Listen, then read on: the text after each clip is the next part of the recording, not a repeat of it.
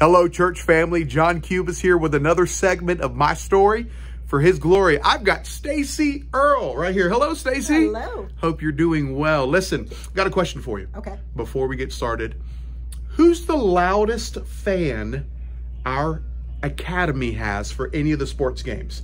Volleyball, flag football, basketball. I'm thinking me or Tom's pretty loud, Paul's loud, Nick's loud. A few of the ladies are pretty loud. Who's the loudest fan our school academy has? Well, none of the above. It's Preacher by far. Preacher by far. All right. I, I, you know what? That doesn't surprise me. Preacher loves our sports program. You know what? Yes. Let's get right into your story, part of your story for God's glory. Okay, well, my story, I was raised Catholic and I was born in the great state of Maine.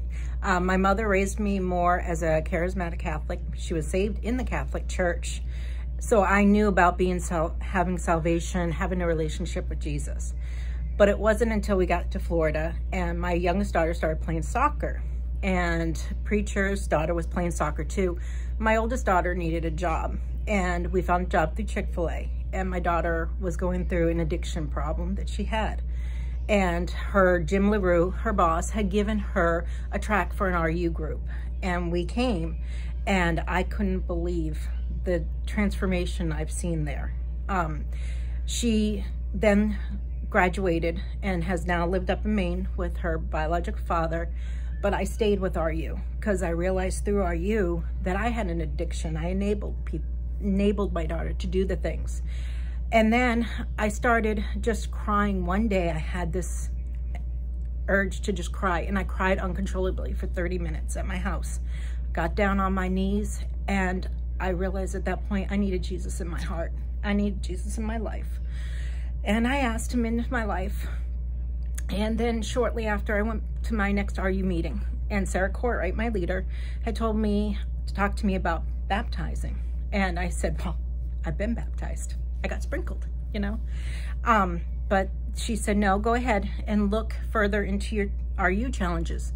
And my husband always told me it was biblical that you had to be baptized, but I didn't understand why.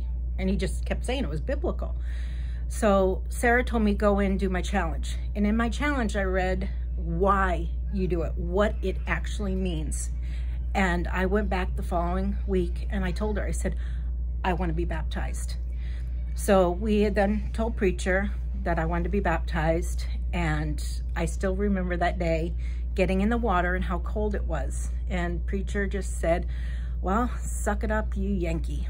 And I was like, oh my, you're going to baptize me. And he said, yeah, and if you're lucky, I'll pull you on up. Well, I was lucky he pulled me up. and I've never looked back at anything. I've totally left the Catholic Church. I try to witness to friends that are in the Catholic Church because they are totally lost. They don't have Jesus. All the works that I did didn't get me anything. But now, after my, having my salvation and being baptized, I realized that's what it's all about. And that's my story for his glory.